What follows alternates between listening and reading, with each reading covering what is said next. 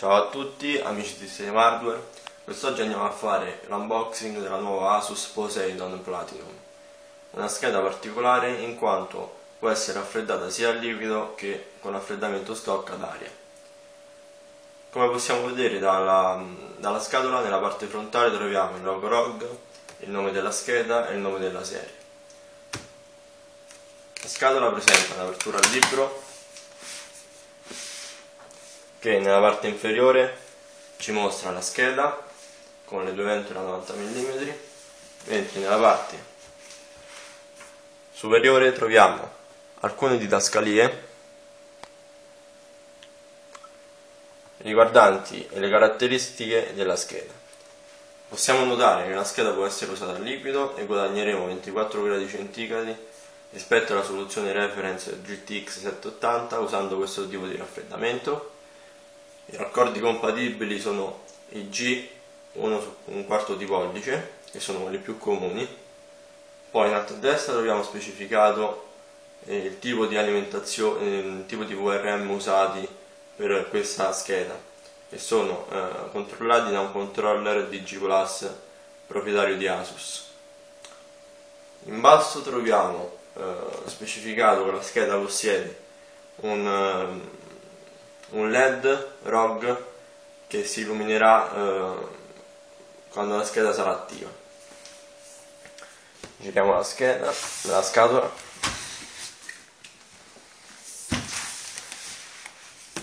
Allora nella parte posteriore troviamo eh, l'immagine scomposta della scheda e possiamo vedere che è dotata di un backplate in alluminio eh, ha un PCB di colore nero con 3 GB di RAM, il chip e le 10 fasi VRM. Abbiamo il primo sistema di raffreddamento che ha camere di vapore e eh, queste camere di vapore possiedono un liquido a basso punto di ebollizione che scaldato dal, dal chip si trasforma in, in vapore e tale vapore può essere riportato allo stato liquido tramite l'uso del water cooling o eh, raffreddato da eh, dissipatori in alluminio dalle rispettive, rispettive due ventole da 90 mm. Le specifiche tecniche di questa scheda sono che il chip è un GTX 780 GeForce, possiede PCI Express 3.0, 3 GB di RAM, e GPU, GPU Boost Clock di 1600 MHz, il GPU base clock è di 954, il memory clock è di 6008. La memory interface è di 284 bit e la risoluzione massima supportata è del 4K. Andiamo ad aprire. Ah, inoltre abbiamo 3 anni di garanzia. Andiamo ad aprire la scatola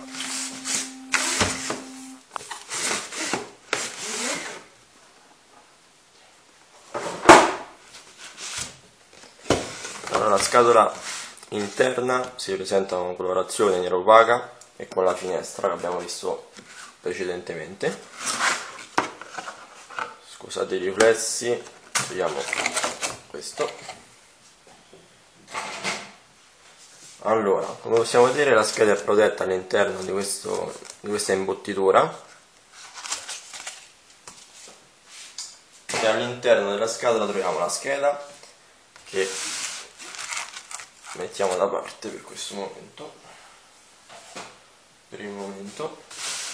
E troviamo il bundle che accompagna eh, la scheda. Allora troviamo un adattatore eh, Molex 8 pin.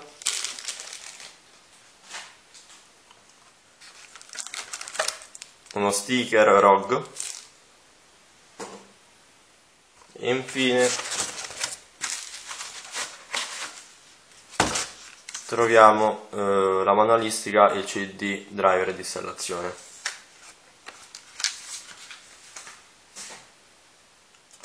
Togliamo tutto, adesso vi facciamo vedere la scheda, eccola qui. Allora, come possiamo vedere la scheda presenta un tipico design ROG, nelle schede video ROG, quindi una colorazione nera opaca unita a una colorazione rossa con inserti bianchi che troviamo nel logo Republic of Gamers e nel nome della scheda.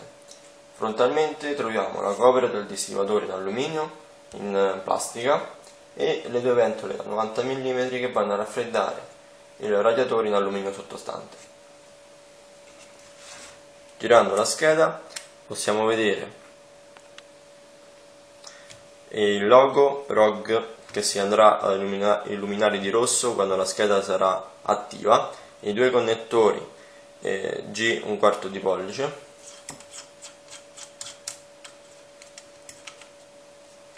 Come possiamo vedere i connettori sono abbastanza restrittivi.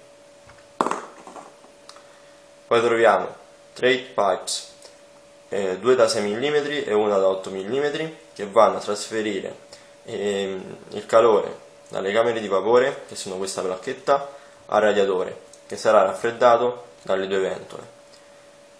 Le camere di vapore come abbiamo detto possono essere raffreddate anche mediante impianto a liquido e quindi usando questi attacchi. E la sezione di alimentazione eh, è formata da un 8 pin e da un 6 pin.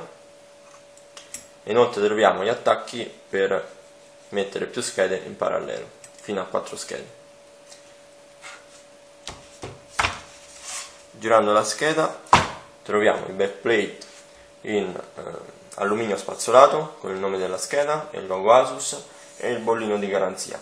Quindi se vogliamo cambiare pasta termica o usare un water block di terze parti perderemo la garanzia. Qui in basso troviamo eh, gli attacchi per controllare il voltaggio e qui in basso troviamo infine logo, eh, lo slot per il PC Express l'attacco per PC Express infine i connettori 8 pin e 6 pin sono forniti da due led di notifica che ci segnalano eh, il corretto funzionamento degli attacchi.